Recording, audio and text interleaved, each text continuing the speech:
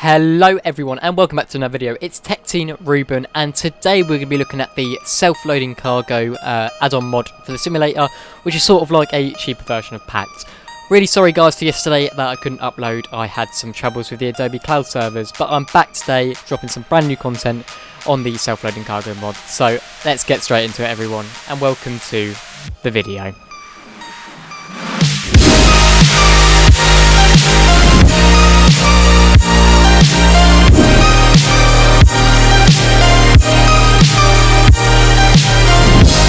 Hello everyone, it's TechTeen and welcome back to another video. So today we're going to be looking at this uh, self-loading cargo mod which I've had for a while actually. I had it before PACX. I, I do think PACX is better, but this is a, a, a quite a, a, bit cheaper. It's about £8 cheaper, so this one uh, goes for about £12.99. I've just had a look and it's, it's at that price at the moment, and PACX is around £20. So is it worth paying an extra £8 for, for PACX? Let's have a little look. So let's jump straight into the flight deck. So yeah, we're in, we're in the flight deck, just getting everything started up, and we'll have a little look. So we've got a little the, uh, menu here, where we can put um, we can start to put our uh, aircraft, our cabin layout. So you can edit these in the settings. Sound pack, so whatever sort of airline you're flying with, you can put the sound pack there, and then you can put your uh, your airline, your flight number, your cruising altitude, ICAO, departure, ICAO, arrival, departure time, arrival time. Now this is just an example, and you can import from SimBrief as well, which is pretty cool. You can put your passengers in, and then you can go ahead and start the flight. Uh, so yeah, we need to put the, yeah, you can't put dots in between, there we go. Let's start flight. Okay, so here we go. I think that means that it triggers the door to open, I believe, even though we haven't...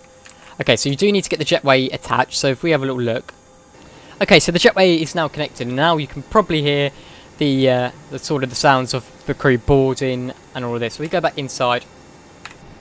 So yeah, it's quite noisy. It's it's it's it's not sort of like a so it's it's not a bad noise really, but it's uh, it's nice and uh, so yeah. What we can do now is we can say we can go ahead and say we're ready for boarding. Hi, Captain Crew. And the, this voice, I, like, I do like this voice. It is quite good. There we go. So we can say ready. We can put some play cabin music, or we can control that by using the mouse wheel. Yeah. So you got music. You got your board in there. You can also adjust the cabin announcements, and they'll show when they're ready. So you can turn on the seatbelt sign.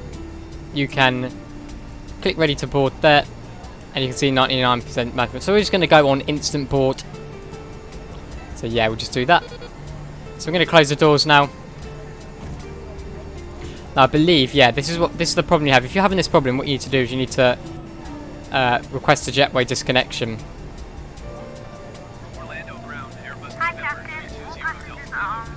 So it's going to tell us all passengers are on board. Thank you. So I'm going to get the, jet, the jetway disattached. Ready to push and start.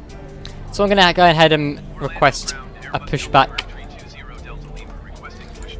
and then we go ahead and turn the boarding music off there. So yeah, so we're going to get the pushback and it should start the... I believe it has a safety brief on it, I'm not too sure. But you can see it gives us uh, people what they what they are feeling. Gentlemen, this is your captain speaking and on behalf of myself, the first officer and the cabin crew, I'd just like to give you a warm welcome on board the aircraft. As you may have noticed, we've now closed the doors and expect to be departing in just a few moments. If you can have a look at any, any reports, medical issues, if you require any crew are not seated, so you can have a look at that. And you've got all these settings here and stuff. Um, with the voices, which I quite like. You got so you've got a lot of, of sort of, you have got a lot of um, room room in there to to like play around. Okay, so we're in pushback now. And we are getting a a voice. We're getting a voice for doing our uh, um, pushback. As you can hear in the background, we're getting a voice doing the safety brief. It's not very good, just, just to let you know, but I believe you can change that.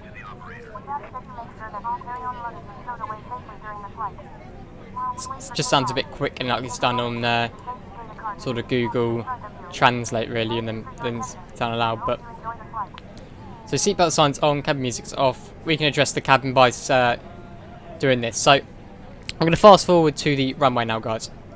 Okay, guys, so we're just about to taxi onto the runway, and what I do find is if you go a little bit too fast, it's going to think you're uh, taking off because it automatically detects it.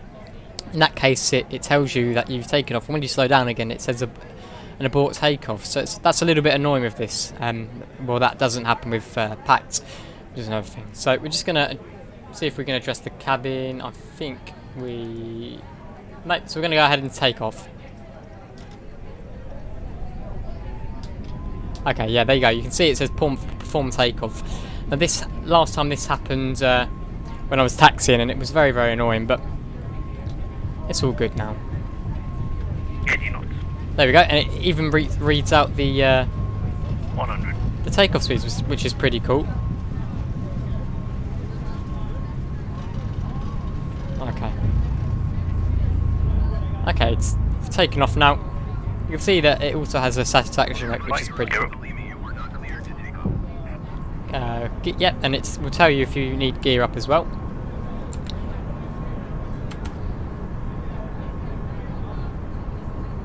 Okay, and now you can see it's changed the flight phase to a after takeoff, and it's uh, telling us to establish a safe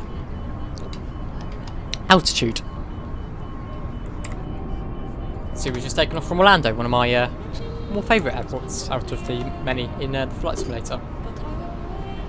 So yeah, I think it's a pretty good, a pretty good uh, mod, but I definitely recommend stretching the eight pounds pounds. Thanks for watching the video, guys. If you liked the video, make sure to drop a like. If you didn't like it, put a dislike and comment down below why you didn't and what I could improve on it. And if you feel like subscribing and you want to help out the channel, make sure to subscribe as I do stream uh, daily now, except for Wednesday. So yeah guys, thank you very much for watching my video and I will see you all very, very soon.